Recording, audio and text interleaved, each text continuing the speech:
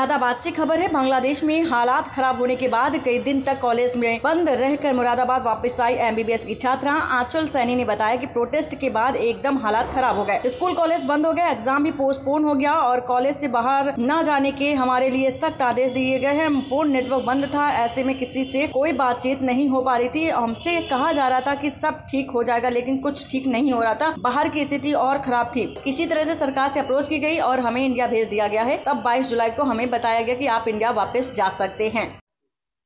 क्या नाम है आपका? रामकिशन सैनी। अच्छा, आपकी बेटी बांग्लादेश पढ़ने। हाँ। अचल सैनी बांग्लादेश एमबीबीएस की पढ़ाई करने के लिए क्या हुआ क्या हुआ? वहाँ पर झगड़ा स्टार्ट हुआ।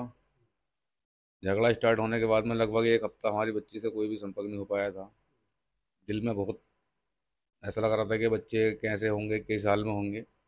फिर हमने यहाँ कलकत्ते जो एजेंट है इन्होंने एडमिशन कराया था इनके माध्यम से हमने संपर्क करा। ये कहने लगे बोले आपके बच्चे सुरक्षित हैं खाना मिल लिया आपको लेकिन फिर भी हमारा दिल नहीं मानना था। तो उसके बाद में फिर हमने इनसे कहा उनके हमारे बच्चों को वापस भेज दीजिए। लेकिन फिर हमारी जो गवर्नमेंट इंडिया गवर्नमेंट है तो इनकी सहायता से इनके सहयोग से हमारे बच्चे बाहर इंडिया वापस आए हैं। कितने दिन पहले आपको जानकारी हो रही थी कि वहाँ पर ऐसा नहीं, उस टाइम पे लगभग एक हफ़्ता एक हफ़्ते से तुम्हारी बात भी नहीं हो पाई थी। बच्चे अंदर बंद थे कॉलेज के अंदर। और स्कूल वालों ने ये कह रखा था कि आप बच्चे बाहर निकलेगो तो ज़िम्मेदारी आपकी होगी। अगर अंदर रहो ज़िम्मेदारी हमारी होगी। ये उन्होंने हमसे भी कहा था। लेकिन हमारे बच्चे डर के माहौल में अंदर बंद थे लेकिन खाना वो लोग दे रहे थे अंदर। लास्ट बार कब बात हुई थी? लास्ट बार हमारी बात हुई थी लगभग सत्रह तारीख में। तब सब कुछ ठीक? नहीं सत्रह तारीख में बहुत तगड़ा डर का माहौल था वहाँ पर ही। हम्म, तो सत्रह तारीख में भी कट कट के बात हो पा रही थी लेकिन बच्चे हमारे भी वहाँ बहुत तगड़े डर रहे थे। डर का माहौल था बच्चों के अंदर। बच्चों के अंदर भी ये था कि हमसे बात नहीं हो पा रही थी और यहाँ पर मार काट हो रही है कि बच्चे मतलब वीडियो यहाँ ऐसी ऐसी आ रही थी कि बहुत डरावनी वीडियो थी। घर का माहौल भी बदल गया। घर का माहौल क्या ऐसा लग रहा था कि बोले हमारे बच्चे अभी हम पहुँच जाएँ लेकर आ जाएँ? तो मैं तो बार बार यही कहूँगा हमारे मोदी सरकार का बहुत बहुत धन्यवाद दूँगा कि इन्होंने हमारे बच्चों को बाहर निकाला। इंडिया गवर्नमेंट का बहुत बहुत सहयोग रहा। इनका क्या सहयोग इंडिया गवर्नमेंट का अगर सहयोग नहीं होता तो हमारे बच्चे यहाँ पर जाते नहीं निकल गए। हम्म, इंडिया गवर्नमेंट अगर हमारा बच्चों को सहयोग नहीं करती तो बच्चे हमारे यहाँ पर नहीं आते निकल गए। वो आने नहीं दे रहे थे आने नहीं दे रहे थे कॉलेज वाले। कह रहे थे बार बार बोले चार पाँच दिन लग जाएँगे चार पाँच दिन एक हफ़्ता लग जाएगा। एक हफ़्ते के बाद में सब कुछ नॉर्मल हो जाएगा। लेकिन आने नहीं दे रहे थे वो लोग। क्या नाम है आपका मेरा नाम आंचल सैनी है। आप बांग्लादेश में किस चीज़ की पढ़ाई कर रही हैं? मैं बांग्लादेश में एमबीबीएस की पढ़ाई कर रही हूँ गाजी मेडिकल कॉलेज खुलना बांग्लादेश क्या ऐसा हुआ जो अब स्थिति बन गई है बांग्लादेश में? आप किस डेट को वापस आई थी? क्या पूरा मंजर रहा आपकी आँखों के सामने वहाँ पर प्रोटेस्ट चल रहा था बिकॉज़ सेवेंटी परसेंट जो सीट थी वो गवर्नमेंट ने फ्रीडम फाइटर के लिए कर दिया था और थर्टी परसेंट आम जनता के लिए। उसके वजह से स्टूडेंट को गुस्सा आया, फिर उन्होंने प्रोटेस्ट स्टार्ट कर दिया। देन फिर वहाँ पर बहुत ज़्यादा परिस्थिति खराब हो चुकी थी। फिर कॉलेज स्कूल सभी बंद हो गए थे। हम लोगों का 18 को एग्ज़ाम था, वो भी पोस्टपोन कर दिया था। फिर उसके बाद पूरा हम लोगों को बाहर नहीं जाने दिया।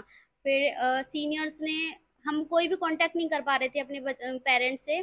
सीनियर्स ने गवर्नमेंट को अप्रोच किया कि हाँ हमें इंडिया वापस भेज दीजिए।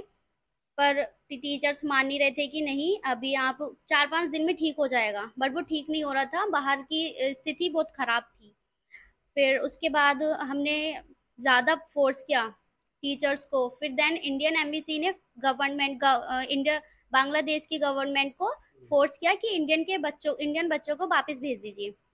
देन फिर उसके बाद 22 को प्रिंसिपल हमारे हॉस्टल आए।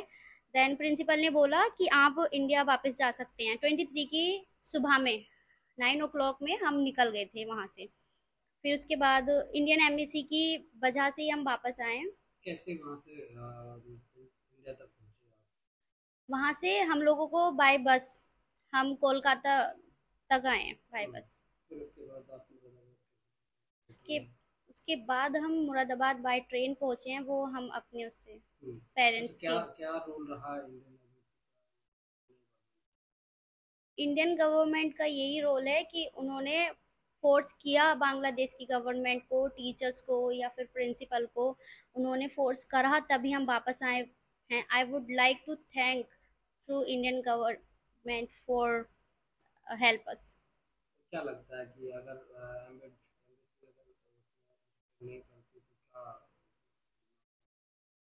अगर इंडियन गवर्नमेंट इंटरफेयर नहीं करती तो शायद हम लोग अभी यहाँ पर नहीं होते क्योंकि वो लोग तो प्रिंसिपल वहाँ की गवर्नमेंट हमें नहीं भेज रहे थे। क्या लग रहा था इतने दिनों में क्योंकि एक तो सारी चीज़ें थी पाँच वही था वहाँ पे हम लोगों को बहुत ज़्यादा डर लग रहा था। हम हॉस्टल में थे हम लोगों से यही बोल रहे थे कि ठीक है बट वो ठीक नहीं था। हम लोगों को काफ़ी डर लग रहा था। पेरेंट्स से कोई कम्युनिकेट नहीं कर पा रहे थे हम। वहाँ का नेटवर्क शट डाउन था इसलिए हमें बहुत ज़्यादा डर था। टीचर्स भी आ रहे थे सिर्फ़ समझा कर जा रहे थे। हम्म, किस तरह से खुद को सेव कर रहे थे? सेफ़ हम सिर्फ़ हॉस्टल में थे बाहर नहीं निकल रहे थे। हम्म, तो जो वहाँ का प्रशासन था या टीचर्स थे जी जी, उनका भी फुल सपोर्ट था। उन्होंने बाहर जाने के लिए मना करा था। टीचर्स बोल रहे थे कि आपको हॉस्टल रहना है हॉस्टल से बाहर नहीं जाना था। उन्होंने फुल सपोर्ट किया उस टाइम जी लगा? घर आकर बहुत ज़्यादा रिलैक्स और फ्री माइंड बहुत ज़्यादा अच्छा फील हुआ क्योंकि हम वहाँ से इतनी डर मतलब बहुत ज़्यादा कंडीशन ख़राब थी। वहाँ से हम बाहर निकल कर आए तो बहुत ज़्यादा अच्छा लगा। मुरादाबाद से रेहान अंसारी की रिपोर्ट।